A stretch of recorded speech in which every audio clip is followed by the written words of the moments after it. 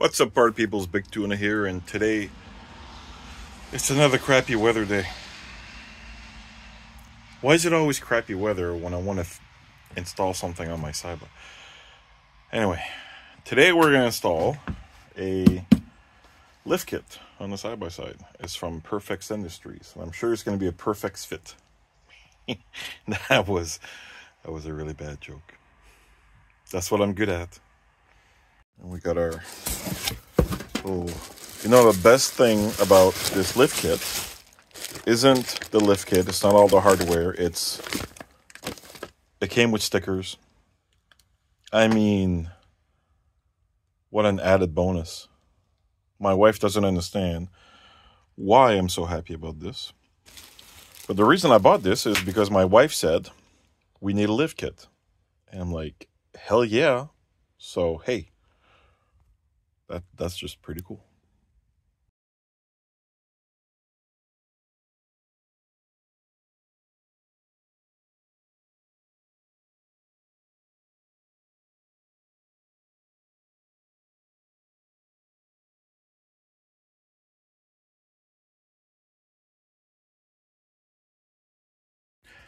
Well, the back is done, and uh, now we're gonna do the front, and because uh, I got it in the garage.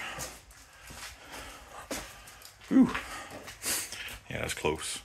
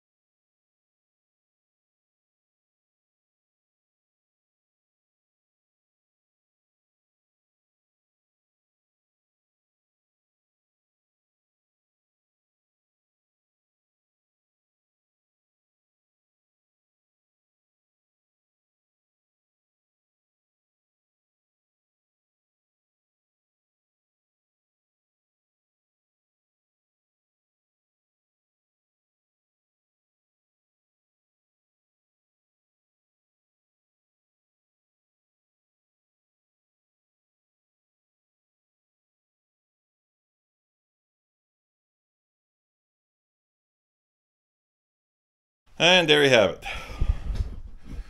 Lift kit is installed. Couple of bolts in front, couple of bolts in the back.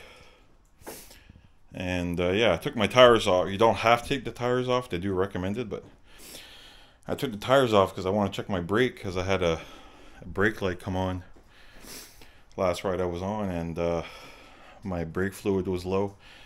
And yeah, I need front brakes now. Yep, 2,500 kilometers and I already need front brakes. Yeah.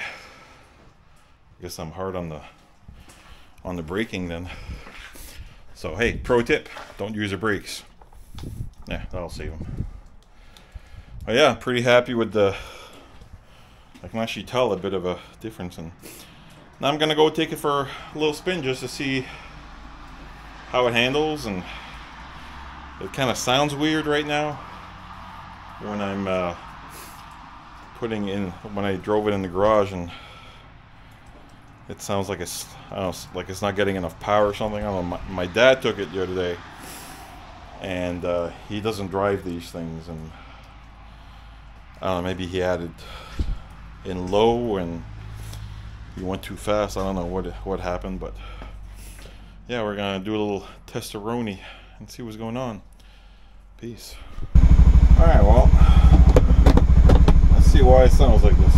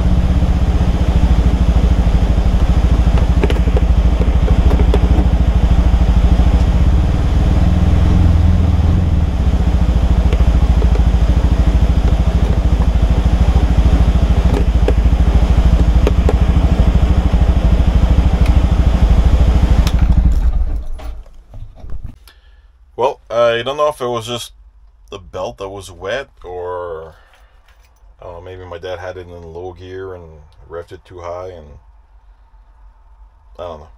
Seems to be working okay now. And uh, it's just a two inch lift kit. Uh, it's not a huge difference. I was thinking about going with 2.5. It's just half an inch.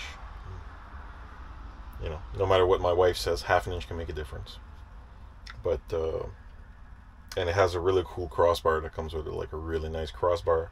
But I mean, you don't really see the crossbar because it's under all the hood and, and all that stuff. But uh, with the two-inch lift kit, now I can get uh, you know like bigger tires, bigger rims, bigger. And I can get 14s instead of 12s for the rims, and I can get 28s, maybe 29s instead of 27s. So that's gonna help with lifting it up a little bit more too, and maybe get some spacers down the road. Just make it a little wider. And look, there's something I gotta fix. Look at that. This is not a watertight machine. Like it's just it's raining inside of the machine. There's, but I mean, you know, you get wet in these things, but it's uh, it's annoying when you're driving and it drips right on your hand the whole time. That's just uh, it's just one of those little finicky things that I'm finicky about, I guess. But uh, hey, Chihuahua works good, and uh, hopefully I'll be able to. I was supposed to hit the trails tonight, and uh, with this weather, like we are supposed to go out at the hideout and have bonfire and everything, but I mean, we're not gonna have a bonfire when it's pouring rain. Yeah, thanks, Mother Nature. But the trails are real fun though, nice and slippery and stuff. So, but not really uh, s'mores uh, conditions right now. See you next time, folks.